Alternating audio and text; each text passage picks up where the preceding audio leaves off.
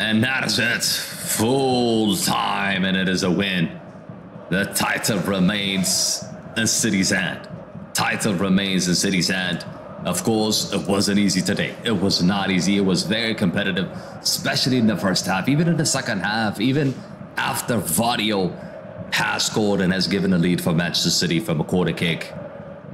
Nottingham Forest was was in it until, of course, they conceded that second goal. Erling Haaland came on uh, from the bench, and of course, you know he was going to score.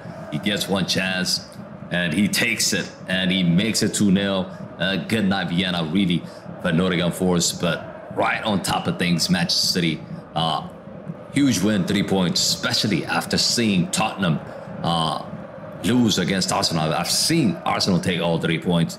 This is what the table looks like right now.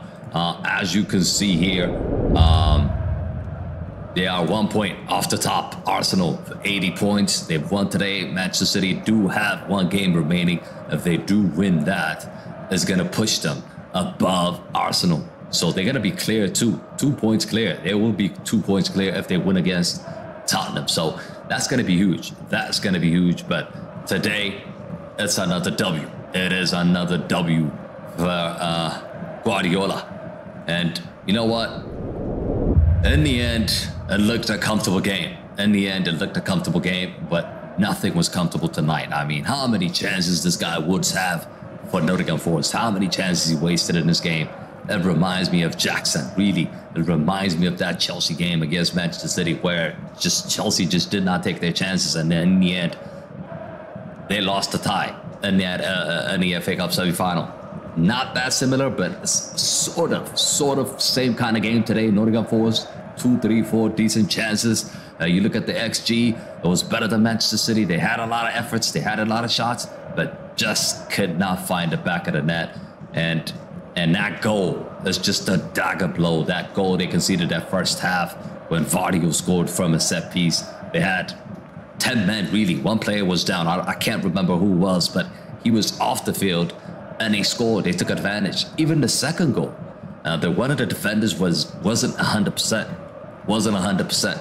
Uh, Spirito Santo should have took him off. Should have took him off. He was hobbling, and then guess what? Haaland found him one on one, and he took care of him. he took care of him. I mean, he sat him down and scored the second goal. So pretty much unlucky Nottingham Forest. Hopefully, hopefully with this kind of performance, they should stay up.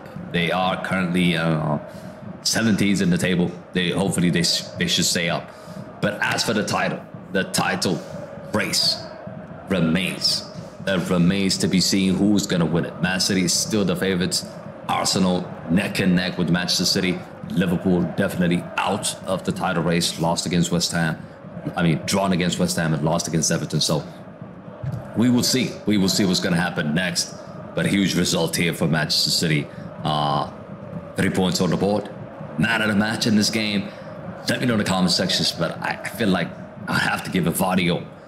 I think that goal and and defensively, I mean, you could say that he was okay defensively as well. I'm gonna give him my man of the match. You guys let me know in the comment sections who's your man of the match.